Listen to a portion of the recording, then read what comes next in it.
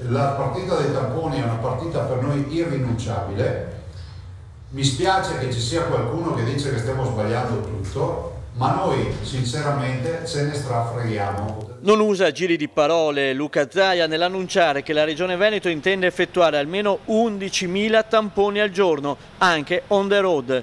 Per ogni positivo che troviamo, dice, avremo 10 contagiati di meno. Questo perché più casi isoliamo, più sicurezza creiamo. Una posizione, quella del governatore del Veneto, supportata dal Comitato Scientifico Regionale, che va decisamente in senso opposto alle convinzioni dell'Istituto Superiore di Sanità.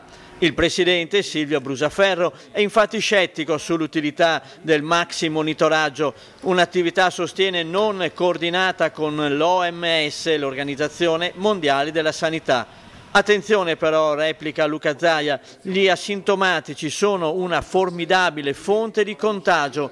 A Vo Euganeo, ad esempio, il primo focolaio in Veneto all'inizio dell'emergenza, il 60% degli abitanti infetti non manifestava nessuno dei sintomi del Covid-19 aver effettuato per ben due volte i tamponi a tutti i 3.300 abitanti ha consentito, ricorda il governatore della regione, di contenere il diffondersi del virus.